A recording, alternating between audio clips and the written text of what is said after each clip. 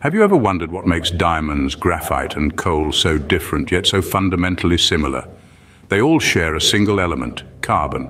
Carbon, a non-metallic element, sits comfortably in the 14th group of the periodic table.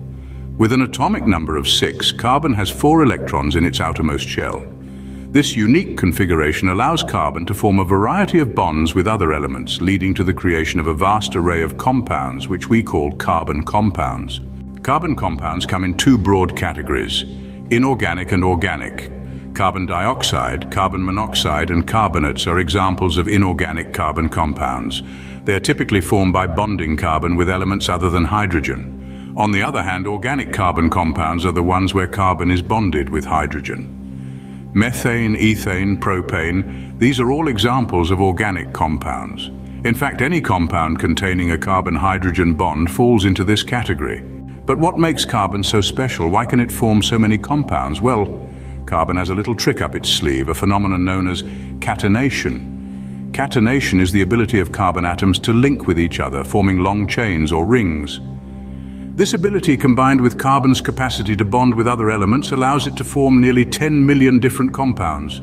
Take a moment to appreciate the diversity and complexity that comes from this one element. From the food we eat, the clothes we wear, to the fuel that powers our vehicles, all of these involve organic compounds of carbon. In the world of organic compounds, hydrocarbons stand as the simplest form. They are composed of only two elements, carbon and hydrogen. Hydrocarbons are primarily categorized into three types, alkanes, alkenes and alkynes.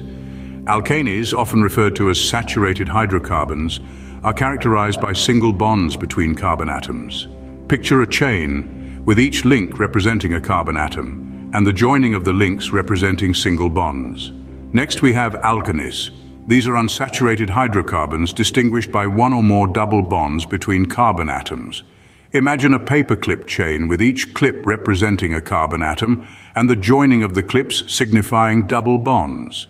Finally, there are alkynes, another type of unsaturated hydrocarbons, but with a twist. They have a triple bond between carbon atoms. Think about a braid of hair with three strands intertwined, symbolizing the triple bonds. These hydrocarbons are not just simple structures. They form the foundation for many other organic compounds. Their existence and interaction play a pivotal role in the field of organic chemistry. As we explore further, their significance will become even more apparent. Voiceover. In our journey through the realm of organic chemistry, we encounter an essential concept, functional groups. These are specific clusters of atoms within molecules that dictate the characteristic chemical reactions of those molecules. Picture them as the special teams of a molecule, they do the heavy lifting when it comes to reactions. Let's take a closer look. Functional groups like hydroxyl, carbonyl, carboxyl and amino groups, to name a few, play vital roles.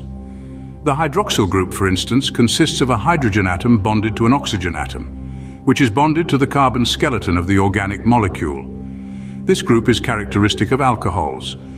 Similarly, the carbonyl group is a carbon atom linked by a double bond to an oxygen atom. Simple compounds with this group are aldehydes or ketones. The carboxyl group found in carboxylic acids is a carbonyl group attached to a hydroxyl group. And the amino group, composed of a nitrogen atom bonded to two hydrogen atoms and the carbon skeleton, is characteristic of amines. These functional groups, along with others, determine the properties and reactivity of organic compounds. They shape how these compounds behave, how they interact with each other, and how they participate in chemical reactions. So, functional groups are like the special teams of a molecule. They do the heavy lifting when it comes to reactions, paving the way for the fascinating diversity of organic chemistry we see around us. Voiceover. Soaps and detergents are everyday items that owe their cleaning power to chemistry, specifically the chemistry of micelles. But what's happening at a molecular level when we use these cleaning agents? Soaps and detergents belong to a category of compounds known as surfactants. These compounds have a unique structure. One end is hydrophilic or water-loving, while the other end is hydrophobic or water-avoiding. When these surfactants encounter water and grease or dirt, something remarkable happens. The hydrophobic ends of the surfactant molecules are repelled by water but are attracted to grease or oil. Simultaneously, the hydrophilic ends are attracted to water. This causes the surfactant molecules to arrange themselves into tiny spheres called micelles. In a micelle, The hydrophobic ends cluster in the center, trapping the grease or oil, while the hydrophilic ends face outwards, interacting with the water. This structure allows soaps and detergents to effectively remove dirt and oil.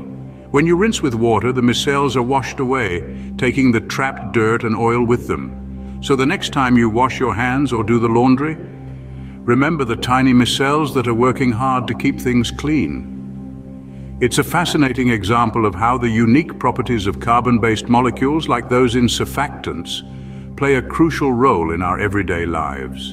And remember those diamonds, graphite and coal we mentioned earlier? They are all allotropes of carbon, different physical forms in which an element can exist. Diamonds are the hardest known natural material, graphite is used in pencils, and coal is a major source of fuel. All are made of carbon, but each has a unique structure that gives it distinctive properties. To summarize, carbon is a versatile and essential element, the foundation of life as we know it.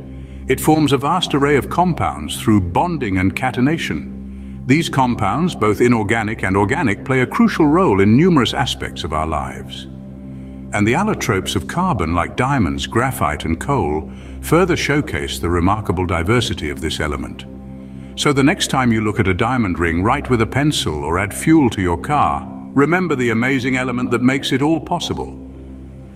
Carbon. It's not just an element, it's the building block of life, the fuel of our civilization, and a testament to the incredible